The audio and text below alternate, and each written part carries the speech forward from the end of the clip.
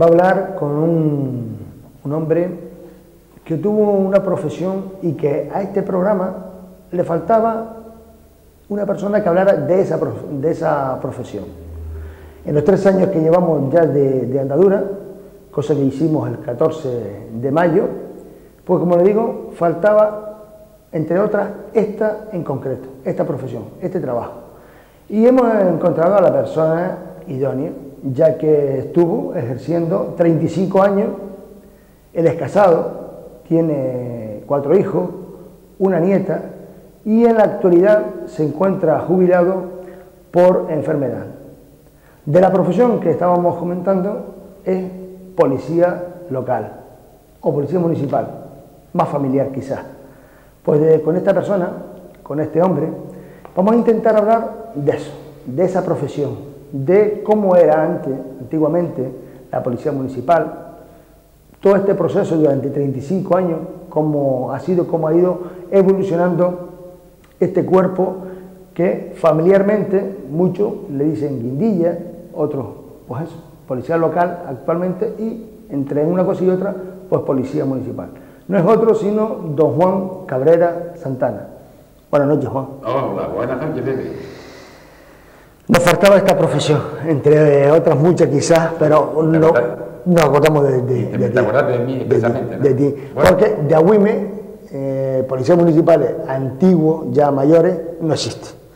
Olivar no existe para descanse, Antonio Merino, Meregirdo, eh, Lorenzo para descanse, todos han fallecido.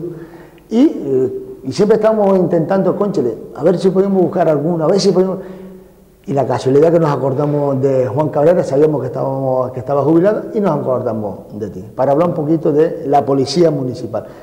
No de Agüime quizás porque no eres de Agüime, pero ha ejercido la profesión como policía. Exactamente. Pero antes de entrar de lleno en lo que es la policía local, la niñez de Juan, de Juan Cabrera. Hombre, la niñez como todo hijo de, de Agüime, ¿no? Primero la escuela, no del Rey, porque no llegué a la escuela del Rey, fui a Anita Suárez y de allí di un salto muy grande al Colegio La Salle, que fui de los fundadores del Colegio La Salle. Hasta que ya dijeron, o no quise estudiar más, porque antes no nos nacía estudiar. Hasta ese tiempo estuve yo en el Colegio La Salle. ¿Después vas a trabajar, Juan? Después eh, ya con 14 años, pues si no estudia hay que trabajar. Ese es el lema que yo que debe llevarse y yo lo ya voy a llevar a mis hijos. No le he dicho a ninguno que a los cuatro que vayan a trabajar. Yo les impulso que estudien. Si no estudia, en una esquina no lo quiero y nacer menos sentado. Hacer algo.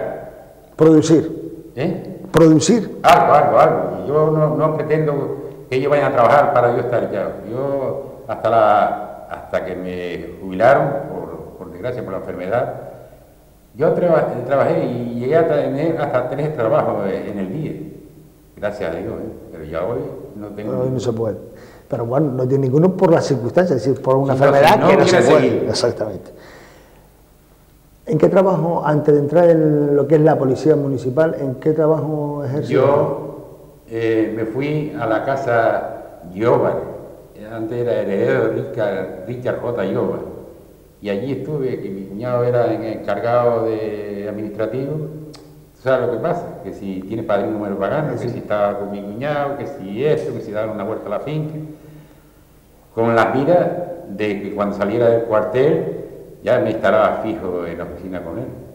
Pero este Juan Cabrera ha tenido malos pensamientos siempre. Dice, el día que yo salga de aquí para cogerme, hay que correr. Así que me llamaron a la mili Tuve 16 meses, a ver, 16 meses, sí, en infantería, tres meses en el batallón arriba, de, recluta. Pero después ya salí destinado, ¿no? Y pasé el tiempo. es una anécdota esta de que donde yo me basé la mili, el trabajo que yo estaba haciendo lo hizo un, hijo mío a los 30 años después. Porque se dio cuenta por la letra.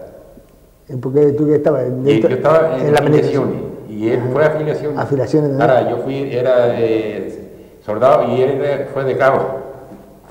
Pero bueno, la casualidad que fueron a ese mismo sitio. La cosa fue que él me conoció y un día dice, papá, eh, en infantería, tú siempre tienes infantería y tú, la inspiración, dice, yo sé que estuviste allí por la letra, porque yo era el que rellenaba la cartilla militar. Y te conoció la, te conoció la letra.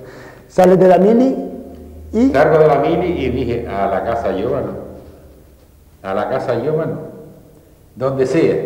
Menos a la, a la casa Giovano. No porque me fue mal, pero yo quería... Pues nada, que si sí, que si no. Estuve un par de meses trabajando de peón armañín con Maestro Antonio Alemán y los hijos. Matatón era el maestro y los hijos y yo, los peones, y así escapamos. Pero siempre con la mira damos un saltito, ¿me comprende? Un saltito más, más, alto. Pues se abrió la almacén esta de Juliano Nahuimi cuando empezaron hace muchos años. ¿Alguien Cruz? Sí. Digo, vamos allá lo pedí trabajo una, y me pusieron en la almacén de Juliano claro, eh, el, encargado, no, pero el segundo encargado me conocía y dice, coño, Juanillo, si tú sabes tanto como yo y estás de que yo vine a trabajar. Pero nada, siempre la cabeza allí y en otro lado. Hasta que un día mi hermano para descansar dice, Juanillo, hay plazas en la policía eh, municipal de Las Palmas, le digo, allá vamos. Así que al siguiente día ya estábamos más en Tomás Morales pidiendo información. Siempre me acordaré era, era guardia en aquel entonces, murió, eh, no, no, no ha muerto me parece, el Brigada Marco. Según entré y me dijeron que era en la segunda planta, era estaba de retén. Y había que tomar datos, ¿no? Pero esa cosa de que uno cuando va a esos sitios va como un loco, ni papel, ni lápiz, nada, y le dije, mire, por favor, usted me, me, presta un lápiz o algo así, y se va. Sin entrar ya están dando la lata. Y, esto es así, ¿cómo será cuando esté dentro? Pero nada, ese hombre después llegó a ser uno de los grandes amigos que tuve yo en la policía local, pero de los grandes. De hecho, es que yo no decía ni sargento, ni, ni cabo, ni brigada, sino Paco. Y él venía aquí. A ver si me comprende. Entre trabajo y trabajo, decía, decía usted que usted estaba, tenía la cabeza en el trabajo, pero a la misma vez pensando, pero pensando siempre una plaza de guardia no, o pensando algo, de algo mejor. algo de uniforme. La verdad que te digo, que a mí lo que me gustó siempre era el cuerpo de la Guardia Civil, la verdad. O sea, en aquella época todo, mucha juventud aún me se metió, pero en la policía eh, armada, que se decía. Sí, la Policía Nacional que Pero yo siempre estaba, como, estando en la casa, yo estaba pensando en la Guardia Civil. De hecho, fue que el que estaba conmigo allí también llegó a entrar que fue Federico Martel Rocha, que se mató, fue el primer motorista que se mató aquí en La Palma, en Alaja, cuando era motorista había tirado aquí. Pero en ese tramo que si entraba o no entraba, se falleció mi padre. Y un número de, de, guardia que ya no existe, un número, fui allí a, la comandancia y se parece mentira, te vas a dejar tu madre sola, que se murió, que yo lo conocía, que aquí no se gana nada, que me, me, Le quitó la ilusión. La ilusión, pero me la quitó en aquel momento, pero yo la llevaba por dentro. Y pues si no voy a la Guardia Civil, fue cuando salió la plaza de, de Guardia de allá. Hay que pasar trabajo, Pepe. Hay que pasar trabajo para... Te lo contaré más, adelante. Llega, llega Tomás Morales, pide información, se la da. Y lleno mi instancia, la entrego y me llamo. Se presentaron 388, 86, no estoy seguro.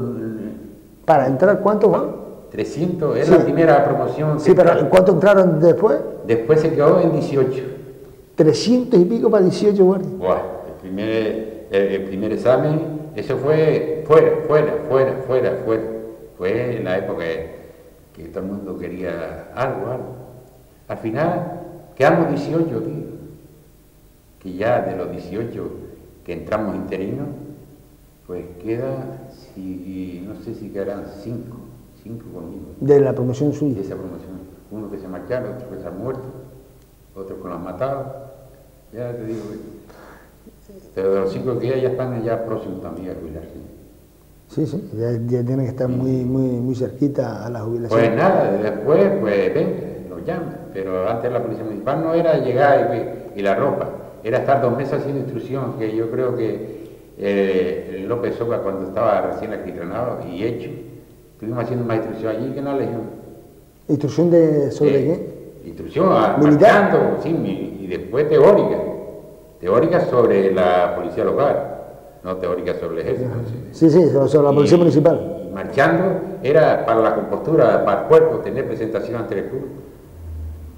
Pues nada, se, publica, como te iba diciendo, ocho plazas. Ocho plazas publicadas. Bueno, al examen. Y algunos se presentaron de la calle después, de los 18. Pues ahí empezamos, bueno, primero, sí, eh, se presentó, eh, la, los presentamos al examen pues venga, examen. Ante el tribunal se formaba el jefe, un concejal, el concejal de la guardia, otro señor de juzgado, esto, un cuadro, un cuadro. de señores. Y los, aspirantes no los conocían, estaban fuera, pero el que se iba a hacer el examen entraba solo, como si fuera un detenido delante, de un tribunal. Pues nada, empezaron entrando y saliendo, entrando y saliendo. Porque el examen que era verbal. Verbal, sí. Ah, ah. Ese era verbal. pero era como una, interrogación. Uno te pregunta de uno, el otro te pregunta de otro, el otro te pregunta, Dios lo tenga en la gloria, pero Francisco Pérez, después que varios de ellos me dijeron, vale, vale, vale, me llamó para adentro otra vez y dice, usted que ha contestado también, ¿por qué no me dice esta pregunta? Yo me quedé que yo iba caminando y temblando. salir de una. Y La Palma era como hoy a, Madrid, Y le digo, pues mire, esta pregunta o está en el segundo o tercer lugar. Nunca dicho yo es, sino siempre digo posiblemente es la primera o la segunda. Me dice, muy bien, muy bien, puede retirarse. Y detrás de mí estaba el jefe, don Carlos Cabrera, que me dijo, me hizo seña con la mano, me guiñó la mano y me dijo, Juan, eres el primero. Y contento. Oye, decime, porque él estaba viendo el examen. Eres el primero y así terminamos el examen y, al día siguiente a trabajar. Todo, porque estamos entendidos. Pero según terminas el examen, eh, terminas el examen y al día siguiente ya pegas a trabajar. No, ya estábamos trabajando, estábamos trabajando interino, un par de meses me parece que fue. Pues nada, si sale la lista y no sale, sale la lista y eran ocho plazas. Y Juan Cabrera salió el noveno. Me fui yo a, su jefe y le digo, Carlos, o señor su jefe, si este que era el primero yo. Y salí el noveno. El noveno. Sí, no, Juan, no puede ser. Pues. Yo, yo llevé, no tenía gafas y no usaba gafas. Y yo me voy Cabrera el noveno. No, no te preocupes, no te preocupes. Tú verás que tú sales, en la próxima sales primero. Tú verás. Así fue que salí primero. Pero, oye, me dejó rascado. Me dejó rascado. La primera, la primera convocatoria, la, la, primera convocatoria. No, después, oye, después nos hicieron entregar la ropa, ¿eh? ¿A los 10 restantes que entregaron la ropa después? Sí, sí, a los dos o tres días, a los que no sacamos la impropiedad, entregamos la ropa por un día, pero al siguiente día la dieron y a, trabajar otra vez. Y por eso te digo que yo, la verdad, no tengo por qué hablar más de la policía local. ¿Cómo te gusta más, Juan? ¿Policía local o policía municipal? Aunque sea lo mismo. A mí me gusta más la policía local, local. Pues municipal, sí, municipal es también local. Local quiere decir que es de, esta localidad. Sí, sí, no, pero no dice el nombre de qué localidad. Te lo digo porque cuando hemos entrevistado a los maestros, a profesores, a muchos de ellos, a la mayoría, le gusta que le diga maestro más que, más que profesor. Y haciendo ahora eh, la pregunta, pero a un, a un señor que fue policía local o municipal, ¿cómo te gusta más? ¿Municipal o policía local? A mí el nombre local me ha gustado siempre más. ¿eh? De hecho, es que yo siempre estuve con el sargento que estaba encargado de, vestuario, que yo también era secretario de, como suele decir, y le dije, ¿por qué Milagros no cambia eh, esto de municipal, le quita municipal y le pone local a la carapela. y ya se fue, eh, salió de un policía local, no porque lo dijera yo. Ya, ya, ya, ya. Entra la policía de Las Palmas, empiezas a trabajar. ¿Y cómo son los primeros, los primeros meses de trabajo de, Juan Cabrera? ¿Fue duro? ¿No fue duro en aquella época? Fueron duros, para que te digo. Uno no estaba acostumbrado a ir a Las Palmas en aquella época, ¿eh? Sí, iba a Las Palmas, pero ir a Las Palmas antes, oye, y conocer, tenía que conocer todos los distritos, las calles, oye, la cabeza en vez de, la cabeza se le partía, ¿me comprende? Y después, que uno no, no estaba criado en el ambiente ese, como en Las Palmas a, a lo que es Agüime, ¿no? Ya hoy Las Palmas y Agüime no se lleva No, bueno, si se Me lleva comprende. va a ir, pero bueno, se nota la diferencia. Pues salía uno un poco retraído, ¿eh? retraído, pero eso sobre la marcha se va haciendo uno a Al la- paño. a- al paño y venga para adelante. Y yo decía, y una vez dije yo, no, y ya me voy y tal.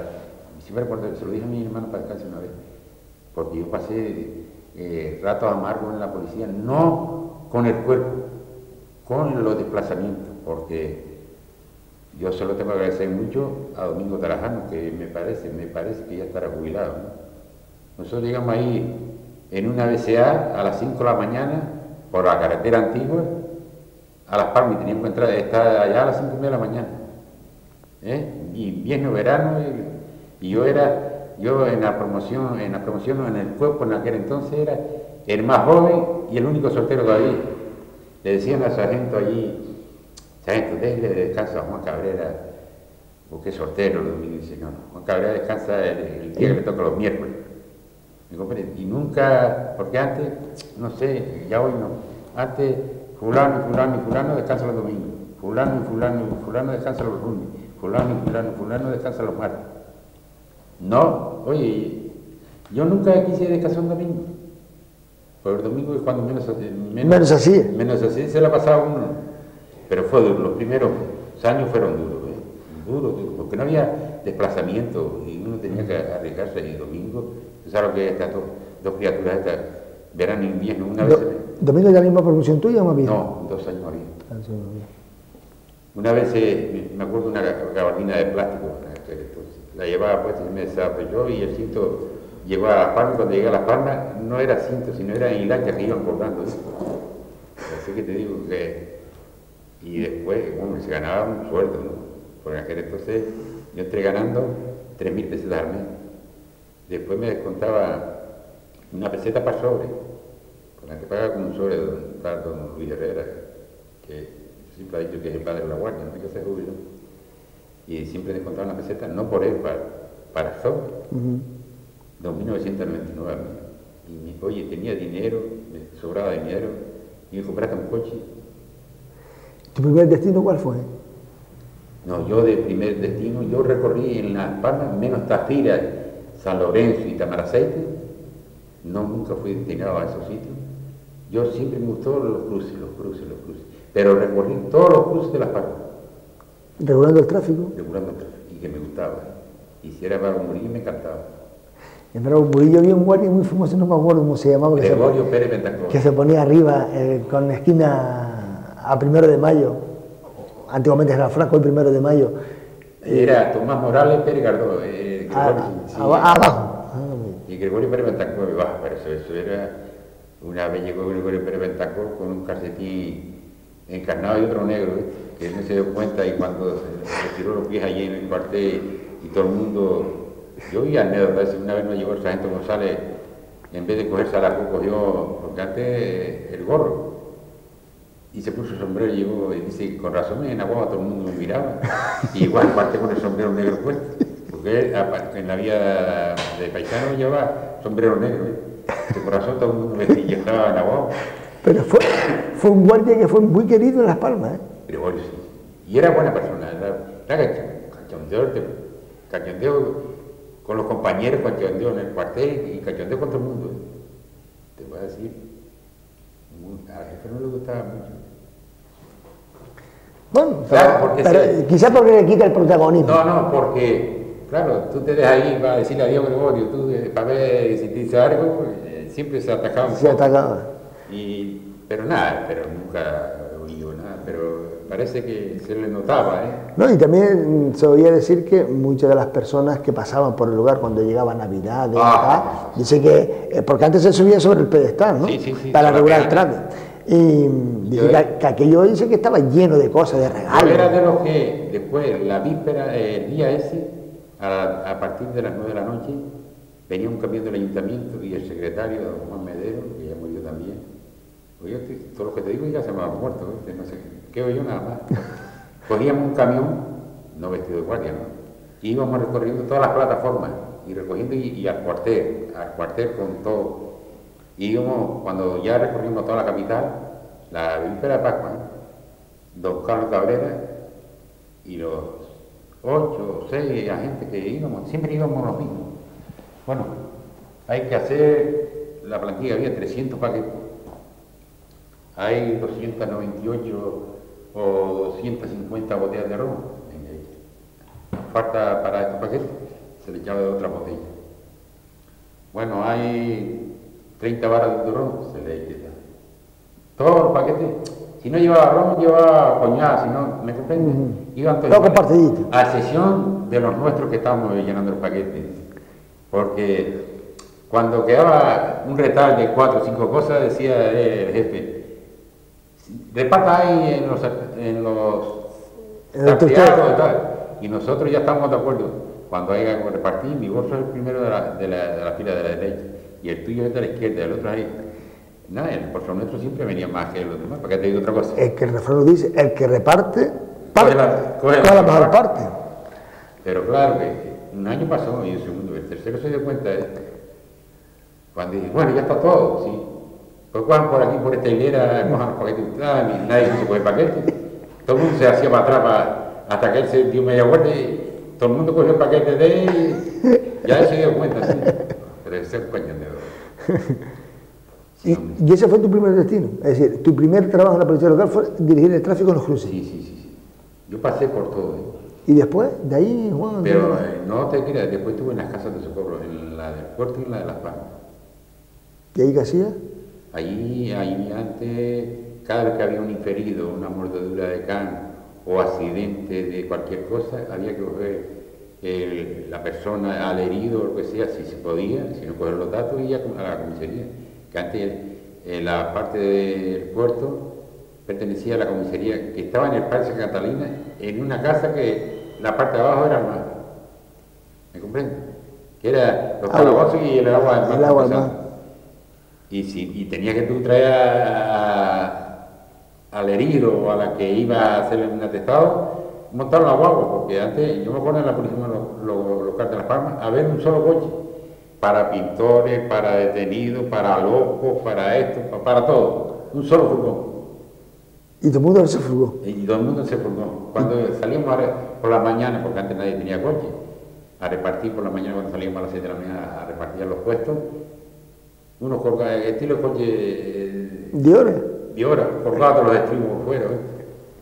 Eso sí. Y ahí para repartir las notificaciones, Juan, también, No. en guagua. No, no, eso las notificaciones ya en ese, cuando ya esa gente dice, ya más dio todo lo que tenía, voy a llamar. Yo estuve repartiendo notificaciones var- varios años, en todos los distritos. ¿Pero que ibas? ca- ¿Caminando en guagua o, No, no, o tenías un coche para eso? Bueno, yo después sí tuve un coche, pero después lo otro era caminando. Esto, caminando, eh, donde, había, eh, donde había guagua, me desplazaba de un sitio a otro. Como de vestido de uniforme no te, no, cobraban. Pero es que yo tuve, si te lo voy a explicar bien, desde el barranco Guiniguada, parte sur, hasta el túnel de la Laja, que comprendía San Roque, La Matula, San José, Ladera San José, en aquel entonces no estaba el polígono de Ginama, eh, el polígono de, De, San, de Cristóbal. San Cristóbal. Seguimos para allá, Sarde, y Casablanca, Pedro Hidalgo, Alto y Bajo, Olla de la Plata,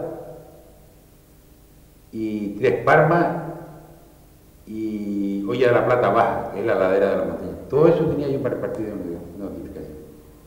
Ahora, por cada vez era nunca así muy, muy tonto. ¿eh?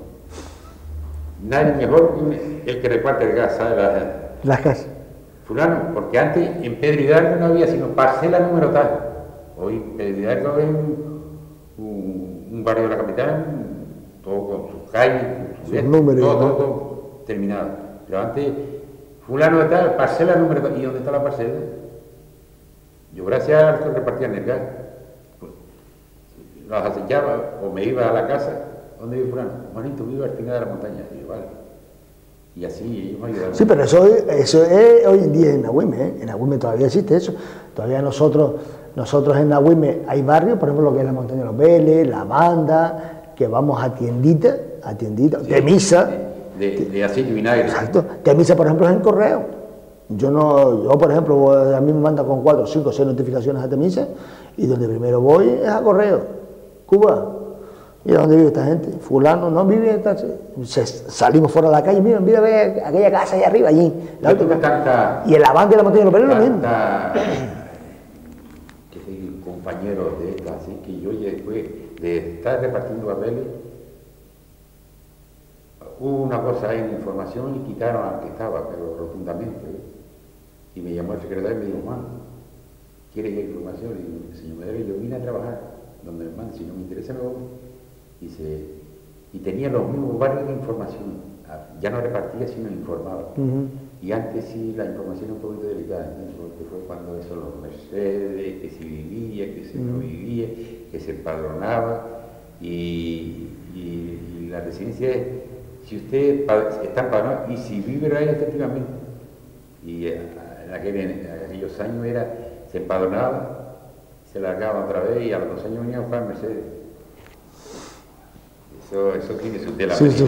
No, no, eso son picardías de, de- Y tener los vecinos del bloque, los vecinos de al estado, mira, si llega por aquí un guardia, y dile que yo llevo viviendo tantos años, pero yo antes de ir ya, ya llevaba el informe. Fulano, tú le llevas gas al piso tan tal, y dice, no, manito, y yo vive ese señor, y nunca la llevaba. Claro, estaba hecho. ya estaba hecho. No molestaba mucho. ¿eh? No, no, no, no, eh, para eso Hasta está. los porteros pagados.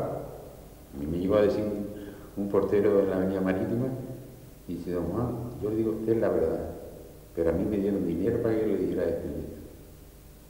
Lo dijo el señor ese. Digo, tú, tú no me has visto. Tú tranquilo, yo, por la formación secreta. Sí, sí, sí, está claro. Y pues él me lo llevó a decir, dice, don Juan, ya usted sabe que a mí me han dado hasta dinero, pero le digo, no, no, no te preocupes, yo no he visto, no te he visto aquí. Y Y así, y ese el informe. Yo- eh, sí, sí, el informe es falso, negativo. Muchos, muchos jefes en estos 35 años.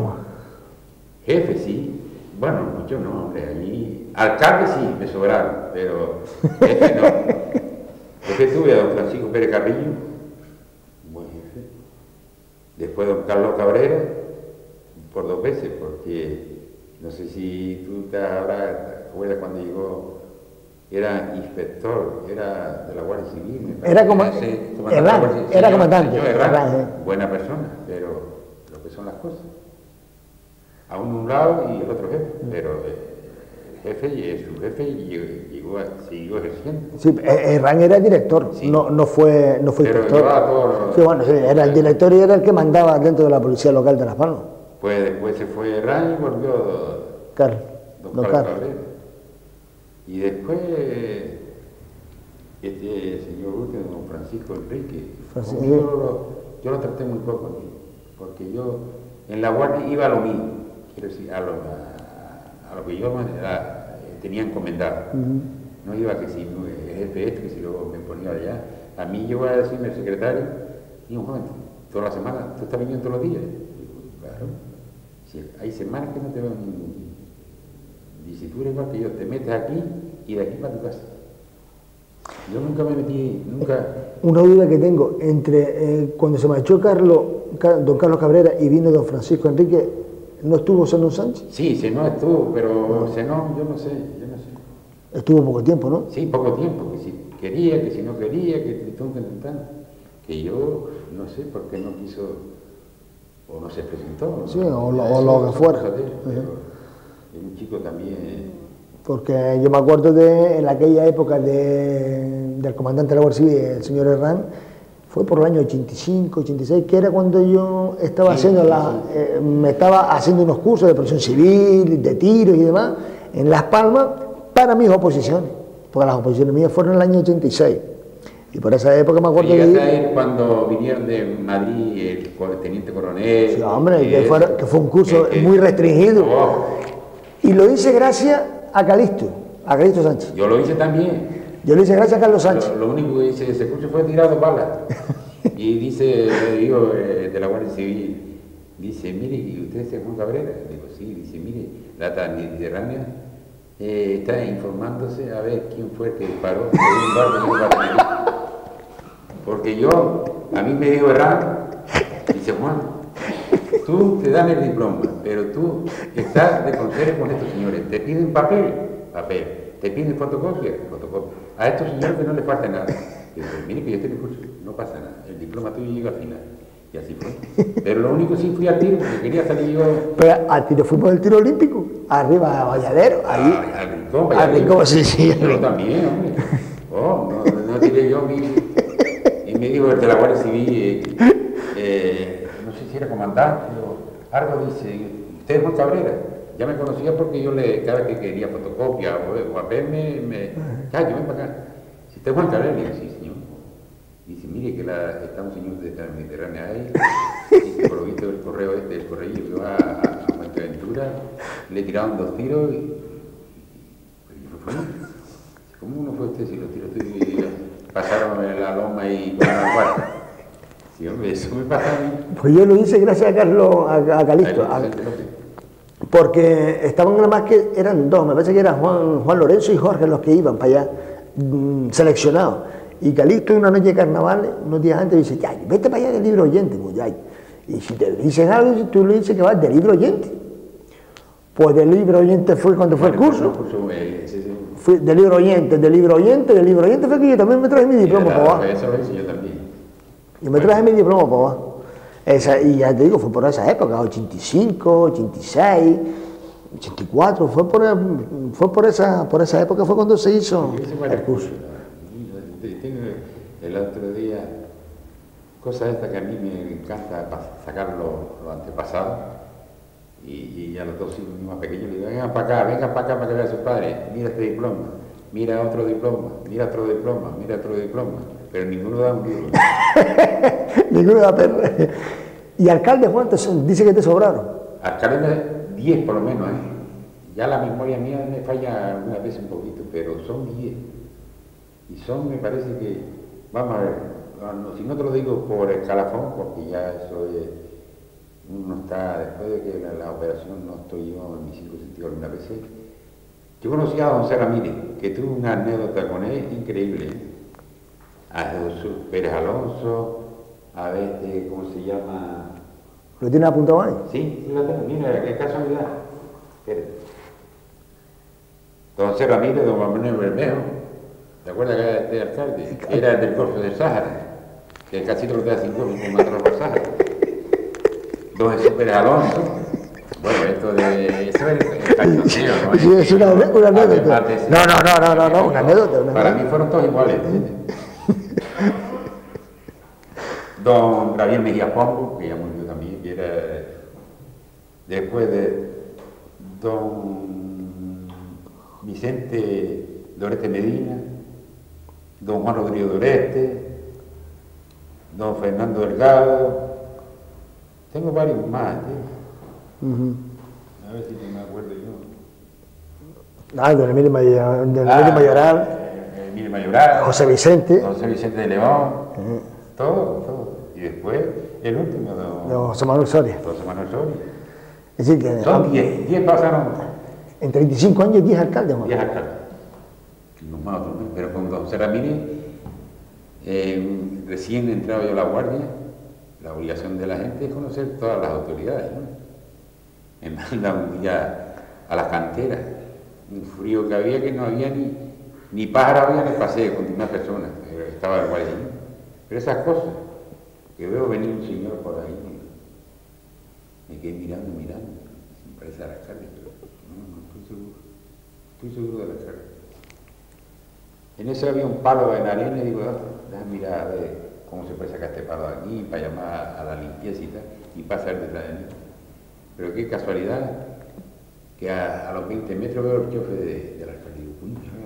Pero ya venía el cabo que murió de brigada, el brigada Medina, el cabo Medina, y yo fui a dar las novedades que ya estaba hablando con el alcalde. Y después le digo el alcalde, y este chico no conoce al alcalde de la, ciudad. Eso fue una anécdota. ¿No dijo nada después? ¿No te dijo más nada? No, no, no, a mí no me lo dijo, se lo dijo a él. Ah, y después el brigada me lo dijo al día siguiente y dice, bueno, y viste al alcalde, le digo yo. Sería la persona que yo estaba mirando el palo que estaba en la playa y él pasó por atrás, pero yo no lo vi. Me di cuenta cuando estaba hablando con usted. Pero yo, la verdad, para no meter la pata, no, no, porque hay otro, había otra persona en las palmas que se parecía todo igual a él. Y vive por la calle eh, Rabadán. En el cruce regulando tráfico, notificador, informador y... Oficina y después objeto perdido. ¿Y el objeto perdido donde más tiempo te pasa, Juan? Me pasaba. ¿O pasaba? Bueno, Juan Cabrera, el objeto perdido, la verdad, era uno de tanto, pero el que mandaba era él, Juan Cabrera, porque yo no sé nada. yo no sé nada. Y todos los zarpazos venían Juan Cabrera, pero Juan Cabrera sabía... Defender. Tirar la piel y guardar la mano. En el objeto perdido, después, aparte que yo llevaba objetos perdidos, yo fui recaudador del ayuntamiento, que era yo me podía estar, ¿qué te voy a decir? Con esto de la grúa, que a mí nadie me decía nada. ¿Me Ni me nombraban más servicio. Ya se acabó desde que entré del declarador, porque yo tenía la obligación de ir al depósito. Domingo, día de fiesta, mañana, tarde y noche, cuando a mí se me antoja a recoger dinero. No iba de uniforme, iba de pachanga, pero. Y, el dinero que, por ejemplo, que el, ciudadano, la grúa le retiraba el coche ciudadano, lo llevaba al potrero en el potrero se cobraba ese dinero para sacar el vehículo y tú ibas después a, buscar ese Pero yo tenía que surtir, yo retiraba de los valores del ayuntamiento tantos talones de 6.000 pesetas, tantos talones de tal, y era una carta de pago. De pago, Que ese dinero, perdón, ese dinero era responsable yo, yo sacaba 6 millones y 6 millones hoy, mañana 10, pasado 4, ¿me comprende? ¿En talones? Sí, en talones. Y eso me lo iban cargando a mi cuenta, a una cuenta mía. Y yo ingresaba cada vez que se, dos o tres días que tenía un par de millones, a una cuenta del ayuntamiento donde no, yo ingresaba pero no podía sacarlo. ¿Me comprende? Y no lo podía sacar una persona sola, tenía que sacar a ver tres firmas. Y después a fin de año y que iba, eh, eh, según ibas ingresando, se te iba descontando esos talones. No, no, no, Yo iba ingresando y yo te llevaba una contabilidad aparte y el ayuntamiento llevaba la de ella. Y yo, bueno, este mes he ingresado tanto, y cuando llegamos a diciembre o a enero, me decía eh, el este, depositario, Juan, cuando quiera un día vamos a hacer la, la el arteo. Y yo me retiraba talones, yo lo ponía en una carpeta aparte, tal día se retiró tanto con sus papeles de pago. Y yo, en otro lado, tal día ingresé tanto dinero. Y compaginábamos las cosas. Había ver las devoluciones, lo que tenía en efectivo yo, las devoluciones de algún testigo que por H por B se, estropeaba, que no podía estropearse, pero vamos, estando yo no se estropearon mucho. Y había a veces 99, 100 millones. ¿Te faltó dinero? Nunca. Una vez sí tuve que pagar 17.500 pesetas por culpa del que estaba conmigo y, del ayuntamiento que yo se las pagué para que no pasara nada. Pero nunca, nunca, nunca, nunca me faltó dinero a mí. Yo tuve la suerte de Ahora, el pobre que estaba antes, no sé si. No hay que fiarse tampoco. Cuando se anda con dinero. Y dinero ajeno. Y dinero ajeno. Quema en las manos, ¿eh? sí quema. Yo era recoger los cajas fuertes y cuando tenía un, par de días, un, par de millones fuera al banco, a una cuenta. Del ayuntamiento. Yo sí. ¿Muchas anécdotas en objetos perdidos? Oh, en objetos perdidos, y eso estaba poco, porque si me iba a los depósitos, que si me iba para acá, que si me iba para allá, en objetos perdidos, si tú hay que tener también un poco de, simpatía y de, gracia. Y de gracia. Yo llegué a, una vez me grabaron por televisión, pero la voy a decir. Una vez dentadura postiza, yo no sé cómo la gente la, la dejaba.